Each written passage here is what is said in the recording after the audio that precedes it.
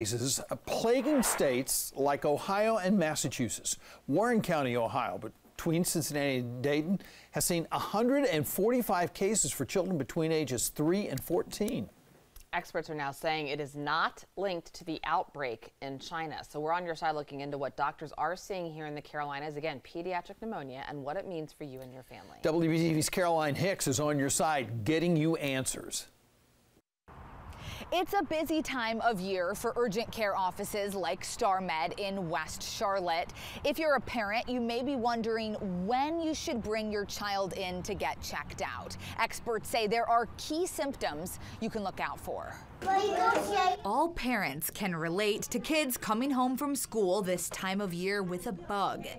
But when does it cross over to something more serious? It can be viral, but many times is bacterial following a viral illness. Alicia Allman with StarMed in Charlotte says bacteria building up in the lungs becomes pneumonia. And it almost looks like pus or like uh, uh, just kind of a collection of that of that yucky, gunky, phlegmy stuff. An even more extreme version is known as white lung syndrome. It's not a place where air can go. Um, and so that is, you know, a much more concerning and severe state. We reached out to Mecklenburg County Public Health to find out whether cases of pediatric pneumonia are rising.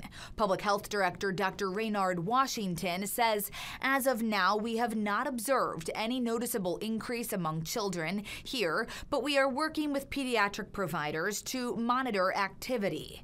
It's clear that COVID, flu, and RSV rates are increasing as expected.